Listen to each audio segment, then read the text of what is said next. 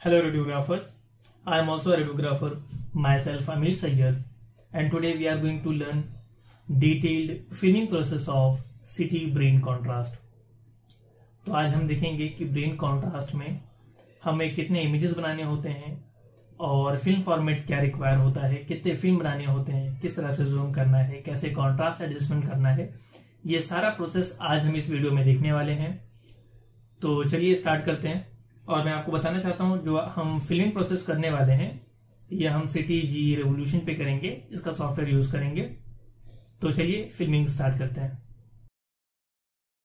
सो so, radiographers सबसे पहले आपको पेशेंट का नाम सिलेक्ट करना है। आप पेशेंट का नाम देख सकते हैं। पेशेंट का नाम है शबनम है। पेशेंट का नाम सिलेक्ट करने के बाद में उसके सारे सीरीज़ यहाँ पे ओपन हो जाएँगे।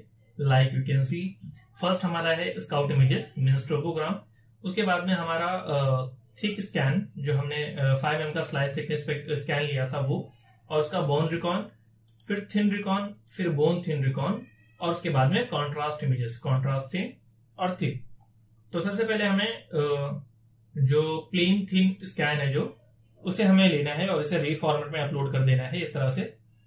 रीफॉर्मेट में डालने के बाद में आपको मैनुअली 5 एम mm का एवरेज थिकनेस देना है एक्जियल कर्सर पे। आप देख सकते हैं ये कर्सर आपको कर्सर पे ध्यान रखना है, मैं जहाँ पे भी कर्सर लेके लेके जाऊँगा, आपको वहाँ देखना होगा। तो मैंने यहाँ पे कर्सर रखा और 5 एम mm टाइप किया और इस मिक को आपको एवरेज में चेंज करना है। तो 5 एम mm एवरेज थिकनेस देना होगा आपको और इसके बाद में सिमेट्रिकल करने के लिए आपको सबसे बेस्ट वे दिखाता हूँ। आप यहाँ देख सकते हैं, एक ऑर्बिटल केविटी बड़ी दिख रही है और एक छोटी दिख रही है। तो सबसे बेस्ट वे है सिमेट्रिकल करने के लिए। आप यहाँ पे आ जाइए, यहाँ पे आपको मल्टी ऑब्लिक ऑप्शन आएगा। ये मल्टी ऑब्लिक को सिलेक्ट करना है और सैज वाले इमेजेस में आपको स्क्रोल करना है इमेज और आपको देखना है ये हार्ट पैलेट कहाँ पे शो हो रहा है। मैं आपको ये शो करता हूँ।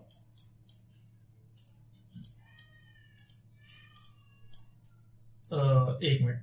ये जो आप देख रहे हैं, ये हार्ड पैलेट है। आपको ये इमेज फाइंड करना है। जहाँ पे भी दिखे ये इमेज और इसको लेके आना है। ये जो हॉरिजॉन्टल लाइन है, ये जो हॉरिजॉन्टल लाइन है, आपको इस हार्ड पैलेट से पैरेलल करना होता है इस तरह से। आपको इसे पैरेलल करना है। ये पैरेलल करने के बाद में आपको एक्सियल इमेजेस सिमेट्रिकल हो जाएँगे सिमेट्रिकल इमेजेस मिल जाएँगे आपको। इसके बाद में स्क्रॉल करना है। उसके बाद भी आप देख सकते हैं कि एक ऑर्बिटल कैविटी बड़ी और एक छोटी दिख रही है। तो वो आप आ, उसको सिमेट्रिकल करने के लिए वापस से मल्टी ऑब्लिक को अनसेलेक्ट करना है। इस पर आपको क्लिक करना है और मैनुअली आप इसे थोड़ा सा रोटेट कर सकते हैं। इस तरह से आप सिमेट्रिकल कर सकते हैं। तो ये अब हमारा परफेक्टली सिमेट्रिकल इमेजेस है। इसके बाद में हम इसे पैन सेलेक्ट करके थोड़ा ऊपर शिफ्ट करेंगे और इसे स्लाइस कटिंग स्टार्ट करना है। तो सबसे पहले आपको नीचे की तरफ़ में स्क्रोल करना है। आपको ध्यान देना है, ये ब्रेन है। तो नीचे आना है, नीचे आना है। ये ब्रेन जैसे ही खत्म होता है और उसके बाद में एक वर्टिब्रल बॉडी कंप्लीटली शो होती है, जिसे हम एटलास वर्टिब्रे बोलते हैं। यहाँ आना है, इस इमेज पे क्लिक करना है और फिर बैच पे आना है। लूप पे आके इस इमेज पे क्लिक करके सेट स्टार्ट कर लीजिए आप। और फिर ऊपर की तरफ़ में स्क्रोल करके आपको इमेजेस बनाने हैं। ऊपर जाना है। जहाँ पे ये सेरिब्रम खत्म होने वाला हो, वहाँ पे स्टॉप करना है सेट एंड करना है और आपको मैनुअली 17 इमेजेस बनाने होंगे। 17 इमेज 17 17 इमेज बनाने के बाद में इसे सेव कर लीजिए आप। ये सेव हो गया, अब इसे एग्जिट कर लीजिए। इसका काम हो गया। और अब हम कॉन्ट्रास्ट थीन इमेजेस सिलेक्ट करेंगे। कॉन्ट्रास्ट के थीन इमेजेस और इसे भी रिफॉर्मेट में डाल देंगे। इसके बाद में इसमें भी हमें एक्सियल कॉर सैज तीनों प्लेन्स में हमें 5 एम mm का एवरेज थिकनेस देना होगा। तो इस पे कर्सर रखना है आपको यहाँ पे और कीबोर्ड से 5 टाइप करना है आपको और एंटर करना है। और इसमें को एवरेज में चेंज करना है। फाइव एम का एवरेज थिकनेस आपको इसी तरह से सेट करना है। ये होने के बाद वापस से आप मल्टी ऑब्लिक सिलेक्ट करने के बाद में इसे सिमेट्रिकल कर लीजिए, जिस तरह से हमने प्लेन वाले स्कैन में किया था। सिमेट्रिकल होने के बाद में मल्टी ऑब्लिक को अनसेलेक्ट करना है, इस इमेज पे क्लिक करना है, वापस से आपको चेक करना है, ये कंप्लीटली सिमेट्रिकल हुआ है कि नहीं तो आप यहाँ देख सकते हैं कंप्लीट सिमेट्रिकल नहीं है। तो इसे आपको थोड़ा सा मैनुअल एडजस्टमेंट करना होगा। ये होने के बाद में आपको वापस नीचे आना है, ये आप देख सकते हैं सेरिब्रम सेरिब्रम ये जैसे ही खत्म होगा, और ये एटलास वर्टिब्रे यहाँ पे शो होगा, यहाँ से आपको स्लाइस स्टार्ट करना है। इस इमेज पे क्लिक करना है बैच पे आना है लूप पे आना है, इस इमेज पे वापस से क्लिक करना है सेट स्टार्ट करना है और फिर ऊपर की तरफ़ में इमेज थोड़ा सा नीचे शिफ्ट हो गया, इसे हम पहले एडजस्ट कर लेंगे, ऐसे, यहाँ से हमने स्टार्ट किया और फिर ऊपर की तरफ़ में स्क्रोल करना है स्क्रोल करना है, जैसे ही ये सेरेब्रम खत्म होने वाला होगा, यहाँ पे आपको सेट एंड करना है और आपको 30 इमेजेस बनाने हैं कॉन्ट्रास्ट के एक्सियल के 30 इमेजेस 30 नहीं बन पा रहा थोड़ा सा एडजस्ट करना पड़ेगा आपको। 30 इमेज बन गए, इसे आप सेव कर लीजिए। और फिर अब हमें कॉर के इमेजेस बनाने हैं। तो कॉर का इमेज बनाने के लिए सबसे पहले आपको चेक करना है सिमेट्रिकल है कि नहीं? तो सिमेट्रिकल देखने के लिए आपको आगे की तरफ़ में आना है। पीएनएस के एरिया पे साइनस के एरिया पे, या फिर आप ऑर्बिटल रीजन बोल सकते हैं। तो यहाँ आप देख सकते हैं, एक ये ऑर्बिटल जो बोन है, ये कंप्लीटली ज्वाइन दिख रहा है, एक साइड का नहीं ज्वाइन दिख रहा है। तो इसे आपको मैनुअली एडजस्ट करना होगा इस तरह से। और फिर आपको चेक करना है। स्क्रॉल करके देखिए, एक साथ में ये ज्वाइंट होना चाहिए तो ये सिमेट्रिकल शो होगा। आप आप यहाँ आप देख सकते हैं कि अब सिमेट्रिकल दिख रहा है। इसके बाद में आपको आगे की तरफ़ में स्क्रॉल करना है। यहाँ से आप स्लाइस कटिंग स्टार्ट करेंगे पैन सेलेक्ट करना है, इस इमेज पे क्लिक करना है सेट स्टार्ट करके पीछे के साइड में, नीचे की तरफ़ में स्क्रॉल करना है स्क्रॉल करना है, और सेरेब्रम एंड होते ही आपको यहाँ पे सेट एंड करना है। इसका आपको 12 इमेज बनाना है। 12 12 इमेज बनाने के बाद में इसे ओके करना है। तो इस पेशेंट का तो ऑलमोस्ट नॉर्मल लग, लग रहा है सारा चीज़। अगर किसी एक पर्टिकुलर रीजन में कोई सिस्ट लीजन कुछ भी अगर आपको पैथोलॉजी दिखती है तो आप बस उस पर्टिकुलर इमेज का ही रीजन का ही बारह इमेज बना सकते हैं।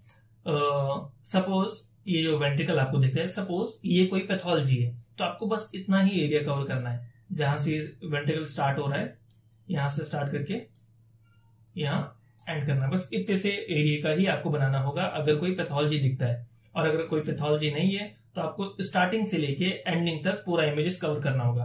अब हम सैच का बनाएँगे तो हमें अब राइट साइड की तरफ़ में स्क्रोल करना है। अब हम यहाँ से स्लाइस कटिंग स्टार्ट करेंगे तो इस इमेज पे क्लिक करना है सेट स्टार्ट करना है, और फिर अपोजिट डायरेक्शन में स्क्रोल करना है। अपोजिट डायरेक्शन में आने के बाद में यहाँ पे आपको सेट एंड करना है, और इसे आपको 12 इमेज बनाना है। इसे भी सेव कर लीजिए, और अब एग्जिट करना है। अब हमारा स्लाइस कटिंग का काम हो चुका है। अब हम फिल्मिंग प्रोसेस स्टार्ट करेंगे। तो फिल्मिंग प्रोसेस स्टार्ट करने के लिए सबसे पहले हमें आना है टोपोग्राम पे। मीन्स स्काउट इमेजेस पे, उस पर डबल क्लिक करना है, वो वीवर में ओपन हो जाएगा।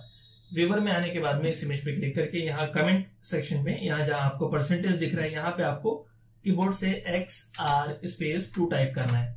इससे क्या शो होगा कि हमने स्कैन में इतना एरिया कवर किया था। ये रेफरेंस लाइन शो करता है कि हमने मैग्जिला से लेके ऊपर पूरा कवर किया था इमेजेस ये शो करेगा। इसके बाद में फ़िल्म सेव पे आना है और कैमरे के आइकन पे क्लिक करना है। ये इमेज सेव हो जाएगा। इसके बाद में यहाँ से आपको एग्जिट करना है। और फिर जो हमने स्क्रीन सेव किया है स्क्रीन सेव यहाँ पे आपको इमेज शो होगा। इसे आपको मैनुअल फ़िल्म में डाल देना है और मिनिमाइज करके नीचे की तरफ़ में ड्रैग कर लीजिए। इसके बाद में जो हमने सत्रह इमेज एक्चुअल प्लेन का बनाया था, इसे आपको मैनुअल फ़िल्म में डाल देना है। और उसके बाद में आपने जो thirty images axial post contrast का बनाया था, इसे भी मैनुअल फ़िल्म में डालना है। और फिर जो हमने 12 इमेज कॉर्नल पोस्ट कॉन्ट्रास्ट का बनाया था, इसे भी मैनुअल फ़िल्म में हम डाल देंगे।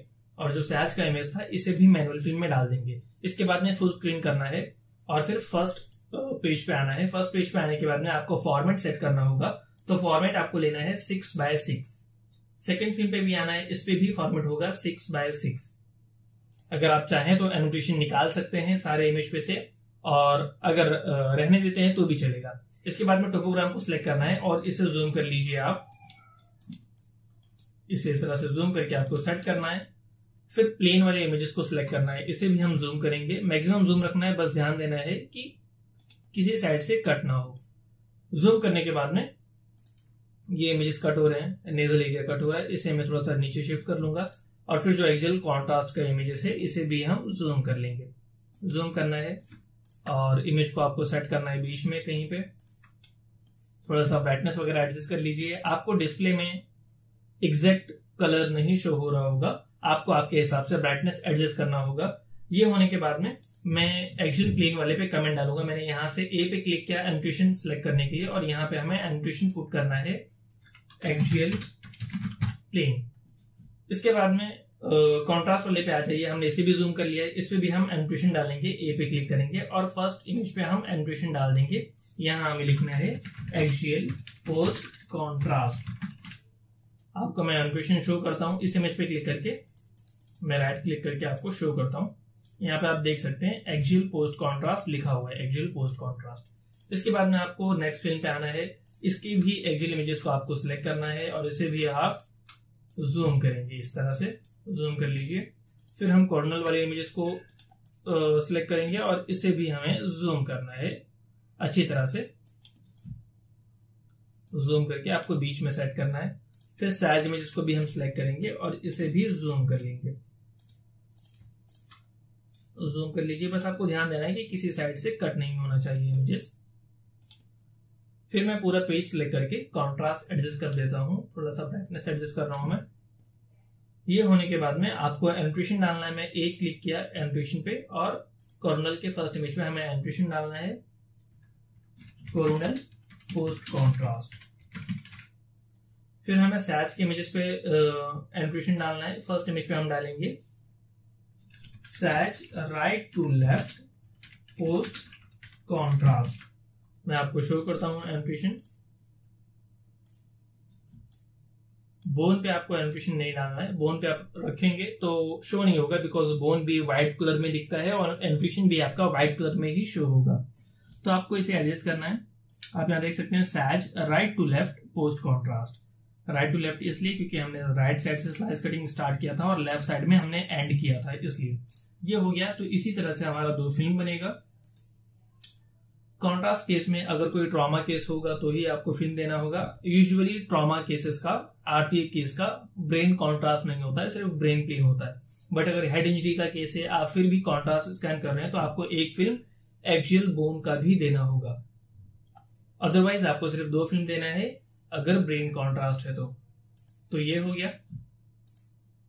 That's it so radiographers this was the complete detailed filming process of CT brain contrast मैं आपको एक बार फिर से फ़िल्म फॉर्मेट बता देता हूँ। आपको सबसे पहले एक टोपोग्राम लेना है, और उसके बाद में 17 इमेजेस एक्जुअल प्लेन के लेने हैं। और उसके बाद में 30 images 30 images axial post contrast के लेने हैं और 12 इमेजेस कोर्नल पोस्ट कॉन्ट्रास्ट के बनाने हैं और 12 इमेज ही सैज कॉन्ट्रास्ट के बनाने हैं। इस तरह से आपका दो फ़िल्म बनेगा सिक्स बाय सिक्स के फॉर्मेट में ये सारे इमेजेस एडजस्ट हो जाएँगे और आपके दो फ़िल्म बनेंगे। तो ये था कंप्लीट प्रोसेस होपफुली आपको वीडियो अच्छा लगा होगा और आपको पूरा प्रोसेस समझ में आया होगा। Thank you. Thank you so much for watching.